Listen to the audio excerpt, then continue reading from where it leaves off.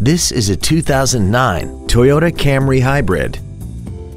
This four-door sedan has a continuously variable transmission and an inline four-cylinder engine.